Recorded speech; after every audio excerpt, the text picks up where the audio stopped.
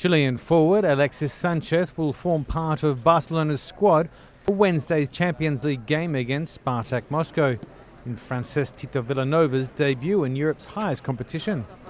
Alexis is recovering from muscular problems he suffered in Chile's game against Colombia, but is expected to get the green light from doctors before the match. Defender Jordi Alba has been ruled out. According to club doctors, the left back has recovered from the flu, a captain from playing against Getafe, but has yet to be ruled fit. With a clean sheet so far in La Liga, with four wins from four games, Vilanova denies that the good start has affected his side. I don't think the players are euphoric. If it was the first time we've won four straight games, I would say that they were not used to it and that they would be euphoric. However, they've won with Barcelona and their national sides a good number of trophies. I don't think they're euphoric.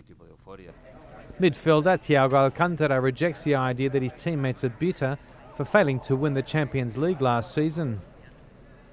No, no queda, yo creo que no, no, nos, no nos queda una espina clavada. I don't think we feel bad about it.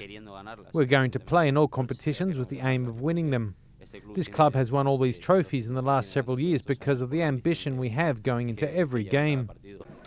The Blaugranas will be up against a familiar face, former Valencia manager Unai Emery, who is now in charge at Spartak Moscow.